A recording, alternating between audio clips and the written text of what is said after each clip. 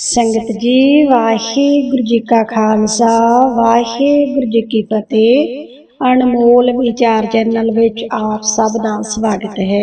ਆਪਣੀ ਅੱਜ ਦੀ ਵੀਡੀਓ ਦੇ ਵਿੱਚ ਆਪਾਂ ਗੱਲ ਕਰਨੀ ਆ ਆਪਣੇ ਬੱਚਿਆਂ ਦੀ ਤੰਦਰੁਸਤੀ ਤਰੱਕੀ ਬਾਰੇ। ਜੇਕਰ ਤੁਹਾਡਾ ਬੱਚਾ ਵੀ ਬਹੁਤ ਜ਼ਿਆਦਾ ਜਿੱਦ ਕਰਦਾ ਏ, ਸੁਭਾਅ ਦੇ ਵਿੱਚ ਚਿੜਚਿੜਾ ਪਾਉਂਦੇ ਆ, ਬਹੁਤ ਜ਼ਿਆਦਾ ਗੁੱਸਾ ਕਰੋਧ ਕਰਦਾ ਏ, ਕਹਿਣਾ ਨਹੀਂ ਮੰਨਦਾ ਜਾਂ ਸਿਹਤ ਸੰਬੰਧੀ ਕੋਈ ਵੀ ਸਮੱਸਿਆ ਏ ਤਾਂ ਫਿਰ ਇਹ ਅੱਜ ਦੀ ਵੀਡੀਓ ਤੁਹਾਡੇ ਲਈ ਆ। ਇਸ ਵੀਡੀਓ ਨੂੰ ਪੂਰਾ ਜ਼ਰੂਰ ਸੁਣਿਓ ਜੀ, ਕਿਉਂਕਿ ਅੱਜ ਦੀ ਵੀਡੀਓ ਦੇ ਵਿੱਚ ਆਪਾਂ ਦੋ ਤਿੰਨ ਨੁਕਤੇ ਐਸੇ ਸਾਂਝੇ ਕਰਨ ਜਾ ਰਹੇ ਹਾਂ ਕਿ ਜੇਕਰ ਆਪਾਂ ਇਹ ਨੁਕਤਿਆਂ ਨੂੰ ਆਪਣੇ ਘਰ ਦੇ ਵਿੱਚ ਆਪਣੇ ਬੱਚੇ ਦੇ ਲਈ ਵਰਤਣਾ ਸ਼ੁਰੂ ਕਰ ਦਿੱਤਾ, ਤਾਂ ਸਤਿਗੁਰ ਸੱਚੇ ਪਾਤਸ਼ਾਹ ਜੀ ਦੀ ਕਿਰਪਾ ਦੇ ਨਾਲ ਸਾਡੇ ਬੱਚੇ ਦੇ ਸੰਬੰਧੀ ਇਹ ਸਾਰੀਆਂ ਸਮੱਸਿਆਵਾਂ ਠੀਕ ਹੋਣੀਆਂ ਸ਼ੁਰੂ ਹੋ ਜਾਣਗੀਆਂ।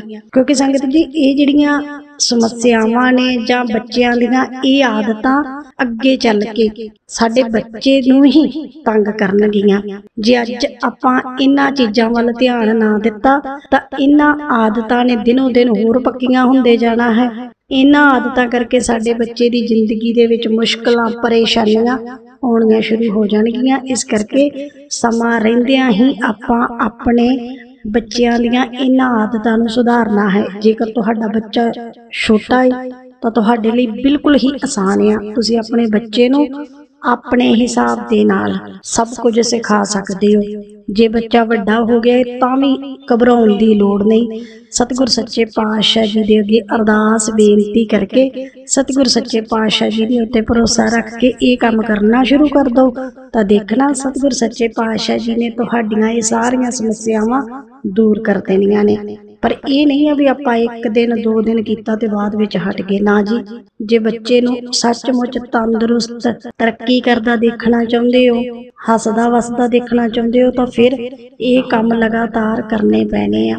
ਹਰ ਮਾਂ-ਬਾਪ ਚਾਹੁੰਦਾ ਹੈ ਕਿ ਸਾਡਾ ਬੱਚਾ ਆਪਣੀ ਜ਼ਿੰਦਗੀ ਦੇ ਵਿੱਚ ਤੰਦਰੁਸਤ ਰਵੇ, ਖੁਸ਼ ਰਵੇ, ਤਰੱਕੀ ਹਾਸਲ ਕਰੇ। ਜੋ ਸੁਪਨੇ, ਜੋ ਇਸ਼ਾਵਾਂ ਮਾਂ-ਬਾਪ ਖੁਦ ਪੂਰੀਆਂ ਨਹੀਂ ਕਰ ਸਕੇ, ਉਹ ਚੀਜ਼ਾਂ ਵੀ ਆਪਣੇ ਬੱਚਿਆਂ ਦੇ ਵਿੱਚੋਂ ਦੇਖਦੇ ਨੇ ਵੀ ਕਿ ਸਾਡੇ ਅਧੂਰੇ ਸੁਪਨੇ ਸਾਡਾ ਬੱਚਾ ਪੂਰਾ ਕਰੇ। ਜਾਂ ਫਿਰ ਆਪਣੇ ਬੱਚਿਆਂ ਦੇ ਜੋ ਵੀ ਸੁਪਨੇ ਨੇ ਬੱਚਿਆਂ ਦੇ ਮਨ ਦੀਆਂ ਇਸ਼ਾਵਾਂ ਨੇ, ਤਾਂ ਮਾਂ-ਬਾਪ ਚਾਹੁੰਦੇ ਆ ਵੀ ਸਾਡਾ ਬੱਚਾ ਜੋ ਚਾਹੁੰਦਾ ਹੈ ਪ੍ਰਾਪਤ ਕਰੇ। ਤਾਂ ਇਹਦੇ ਲਈ ਆਪਾਂ ਆਪਣੇ ਵੱਲੋਂ ਤਾਂ ਬਹੁਤ ਕੋਸ਼ਿਸ਼ਾਂ ਕਰਦੇ ਆਂ। ਚੰਗੀ ਤੋਂ ਚੰਗੀ ਪੜ੍ਹਾਈ ਦੇਣ ਦੀ ਕੋਸ਼ਿਸ਼ ਕਰਦੇ ਆਂ। ਆਪਣੇ ਬੱਚੇ ਨੂੰ ਸੁੱਖ ਸਹੂਲਤਾਂ ਦੇਣ ਦੇ ਲਈ ਬਹੁਤ ਧਨ ਕਮਾਉਂਦੇ ਆ। ਫਿਰ ਉਸ ਧਨ ਦੇ ਨਾਲ ਜੋ ਵੀ ਬਣ ਪਾਉਂਦਾ ਏ, ਉਹ ਖਰੀਦ ਕੇ ਆਪਣੇ ਬੱਚੇ ਨੂੰ ਦਿੰਦੇ ਆ। ਚੰਗੀ ਪੜ੍ਹਾਈ ਦਿੱਤੀ, ਚੰਗੇ ਕੱਪੜੇ ਦਿੱਤੇ, ਰਹਿਣ ਨੂੰ ਚੰਗਾ ਘਰ ਦਿੱਤਾ। ਖਾਣਾ ਪੀਣਾ ਚੰਗਾ ਦਿੱਤਾ, ਭਾਵ ਕਿ ਆਪਣੇ ਵੱਲੋਂ ਤਾਂ ਆਪਾਂ ਬੈਸਟ ਤੋਂ ਬੈਸਟ ਕਰਦੇ ਆ ਭਾਵੇਂ ਕੋਈ ਮਾਪਾ ਗਰੀਬ ਆ, ਭਾਵੇਂ ਕੋਈ ਅਮੀਰ ਆ, ਪਰ ਆਪਣੇ ਬੱਚਿਆਂ ਦੇ ਲਈ ਉਹ ਬੈਸਟ ਤੋਂ ਬੈਸਟ ਕਰਦਾ ਹੈ। ਪਰ ਸੰਗਤ ਜੀ, ਆਪਾਂ ਜੇਕਰ ਆਪਣੇ ਬੱਚੇ ਨੂੰ ਜ਼ਿੰਦਗੀ ਭਰ ਦੇ ਲਈ ਸੁਖੀ ਕਰਨਾ ਚਾਹੁੰਦੇ ਆ ਨਾ, ਫਿਰ ਸਿਰਫ ਸੁੱਖ ਸਹੂਲਤਾਂ ਨਹੀਂ ਦੇਣੀਆਂ। ਉਹਦੇ ਮਨ ਨੂੰ ਸ਼ਕਤੀ ਦੇਣੀ ਆ, ਉਹਦੇ ਮਨ ਨੂੰ ਪਾਵਰ ਦੇਣੀ ਆ। ਕਿਉਂਕਿ ਆਪਾਂ ਤਾਂ ਸਦਾ ਉਹਦੇ ਨਾਲ ਬੈਠੇ ਨਹੀਂ ਰਹਿਣਾ। ਕਈ ਵਾਰ ਕੁਝ ਮਾਪੇ ਕਹਿ ਦਿੰਦੇ ਆ ਨਾ, ਕੋਈ ਗੱਲ ਨਹੀਂ, ਅਸੀਂ ਬੈਠੇ ਆ। ਸਾਡੇ ਹੁੰਦਿਆਂ ਸਾਡੇ ਬੱਚੇ ਦੀ ਵਾਹ ਵੱਲ ਵੀ ਕੋਈ ਨਹੀਂ ਵੇਖ ਸਕਦਾ। ਭਾਵ ਕਿ ਅਸੀਂ ਪੈਸੇ ਪੱਖੋਂ ਤਾਂ ਅਸੀਂ ਆਪਣੇ ਬੱਚੇ ਦੇ ਲਈ ਹਾਜ਼ਰ ਆ। ਅਸੀਂ ਆਪਣੇ ਬੱਚੇ ਦੇ ਲਈ ਕੁਝ ਵੀ ਕਰ ਸਕਦੇ ਆ। ਹਾਂ, ਇਹ ਵੀ ਠੀਕ ਆ।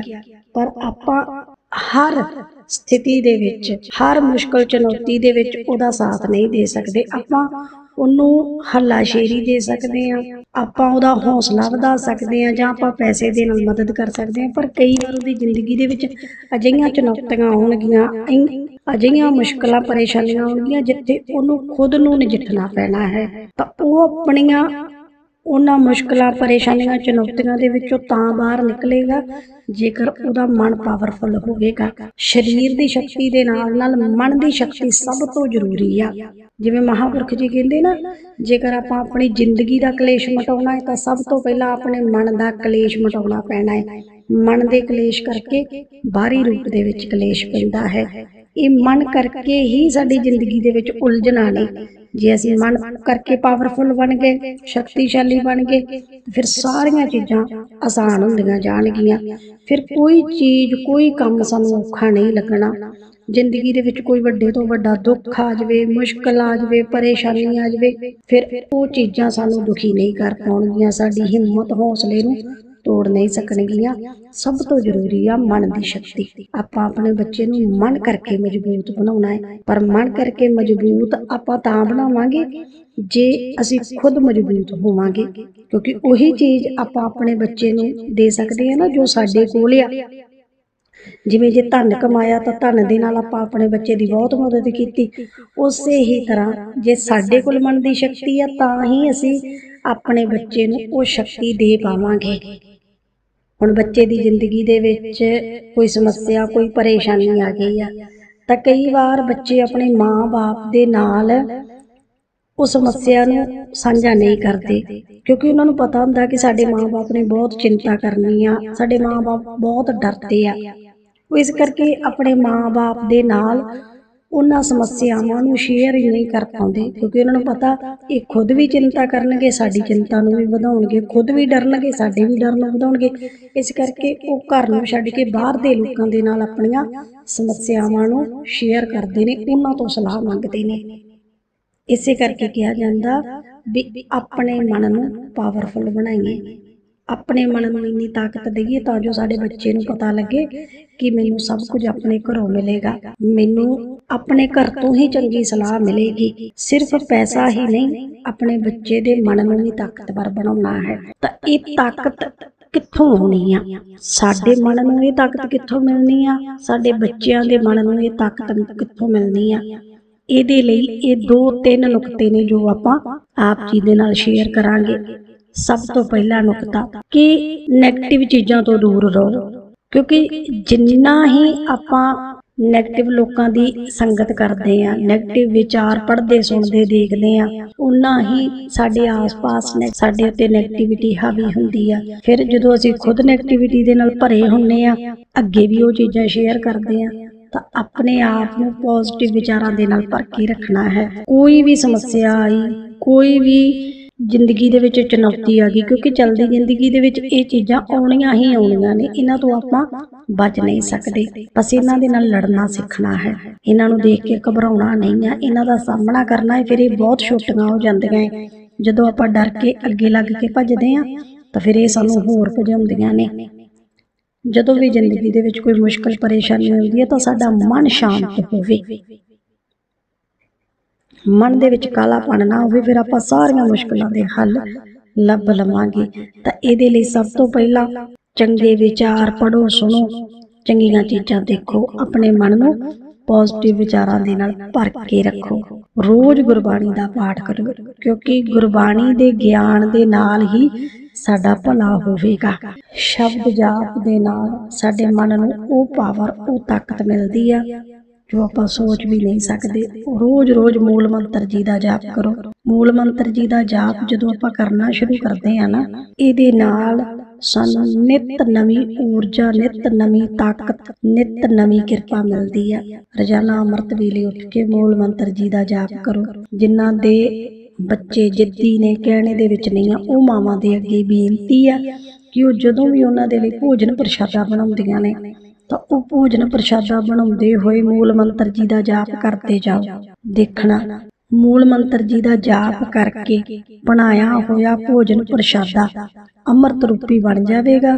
ਜਦੋਂ ਹੀ ਉਸ ਭੋਜਨ ਨੂੰ ਤੁਹਾਡਾ ਬੱਚਾ ਖਾਵੇਗਾ, ਤਾਂ ਉਹਦੇ ਅੰਦਰ ਆਪਣੇ ਆਪ ਬਦਲਾਵ ਆਉਣਾ ਸ਼ੁਰੂ ਹੋ ਜਾਵੇਗਾ। ਪਰ ਗੁਰੂ ਸਾਹਿਬ ਜੀ ਦੇ ਉੱਤੇ ਪੂਰਾ ਭਰੋਸਾ ਰੱਖ ਕੇ ਇੱਕ ਮਨ ਇੱਕ ਚਿੱਤ ਹੋ ਕੇ ਲਗਾਤਾਰ ਇਹ ਕੰਮ ਕਰਨਾ ਹੈ। ਖੁਦ ਮੂਲ ਮੰਤਰ ਜੀ ਦਾ ਜਾਪ ਕਰਦੇ ਜਾਣਾ ਹੈ। ਬੱਚੇ ਨੂੰ ਵੀ ਮੂਲ ਮੰਤਰ ਜੀ ਦਾ ਜਾਪ ਕਰਨ ਨੂੰ ਕਹਿਣਾ ਹੈ। ਭੋਜਨ ਪ੍ਰਸ਼ਾਦਾ ਬਣਾਉਂਦੇ ਹੋਏ ਜਾਂ ਜੋ ਵੀ ਤੁਸੀਂ ਆਪਣੇ ਘਰ ਦੇ ਜੀਆਂ ਦੇ ਲਈ, ਆਪਣੇ ਬੱਚੇ ਦੇ ਲਈ ਭੋਜਨ ਪ੍ਰਸ਼ਾਦਾ ਬਣਾਉਂਦੇ ਹੋ, ਖਾਣ ਪੀਣ ਦੇ ਲਈ ਚੀਜ਼ ਤਿਆਰ ਕਰਦੇ ਹੋ, ਮੂਲ ਮੰਤਰ ਜੀ ਦਾ ਜਾਪ ਕਰੋ। ਜਲ ਛਕਣਾ ਹੈ ਮੂਲ ਮੰਤਰ ਜੀ ਦਾ ਜਾਪ ਕਰਕੇ ਛਕੋ। ਤੁਸੀਂ ਦੇਖਣਾ ਵੀ ਸਿਰਫ ਇਹ ਆਦਤ ਪਾਉਣ ਦੇ ਨਾਲ, ਇਹ ਨਿਯਮ ਪੱਕਾ ਕਰਨ ਦੇ ਨਾਲ ਸਾਡੀ ਜ਼ਿੰਦਗੀ ਦੇ ਵਿੱਚ ਬਹੁਤ ਕੁਝ ਬਦਲੇਗਾ।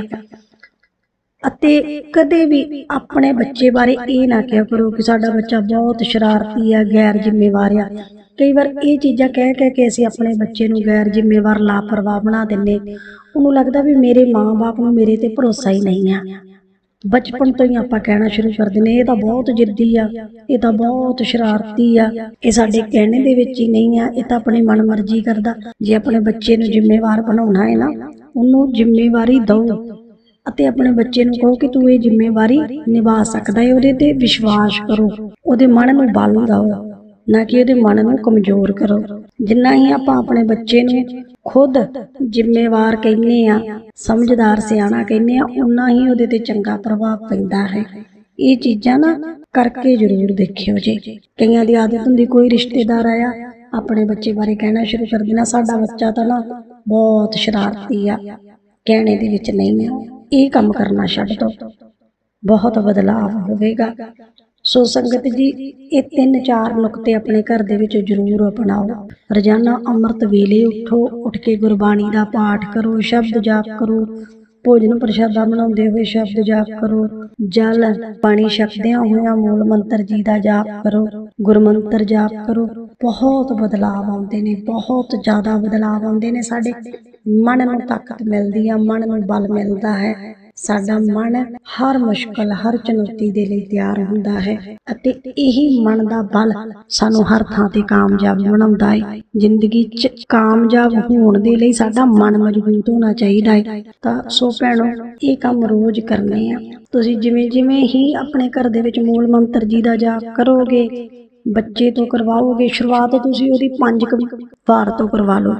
ਪੰਜ ਵਾਰ ਮੂਲ ਮੰਤਰ ਜੀ ਦਾ ਜਾਪ ਕਰ ਲੈ ਪੰਜ ਵਾਰ ਤੋਂ ਸ਼ੁਰੂਆਤ ਹੋ ਕੇ ਜਿਸ ਦਿਨ ਕੋਈ ਵੀ ਮਨੁੱਖ ਹਰ ਰੋਜ਼ ਛੇ ਮਾਲਾ ਮੂਲ ਮੰਤਰ ਜਾਪ ਤੱਕ ਪਹੁੰਚ ਜਾਵੇ, ਤਾਂ ਮਹਾਪੁਰਖ ਜੀ ਕਹਿੰਦੇ ਵੀ ਉਹਦੀ ਜ਼ਿੰਦਗੀ ਦੇ ਵਿੱਚ ਬੜੀ ਤੇਜ਼ੀ ਦੇ ਨਾਲ ਬਦਲਾਅ ਆਉਂਦੇ ਆ। 108 ਮਣਕੇ ਦੀ ਮਾਲਾ 6 ਵਾਰ ਮੂਲ ਮੰਤਰ ਜਾਪ ਕਰਨਾ ਹੈ। ਵੈਸੇ ਗਿਣਤੀ ਮਿੰਤੀ ਕਰਨੀ ਕੋਈ ਜ਼ਰੂਰੀ ਨਹੀਂ ਹੈ, ਪਰ ਇਹ ਗਿਣਤੀਆਂ ਮਿੰਤੀਆਂ ਮਾਲਾ ਇਸ ਕਰਕੇ ਕਿਹਾ ਜਾਂਦਾ ਤਾਂ ਜੋ ਸਾਡੇ ਮਨ ਤੇ ਬੈਣ ਲੱਗ ਜਾਵੇ, ਅਸੀਂ ਟਿਕ ਕੇ, ਬੈਠ ਕੇ ਗੁਰੂ ਸਾਹਿਬ ਜੀ ਨੂੰ ਯਾਦ ਕਰ ਸਕੀਏ।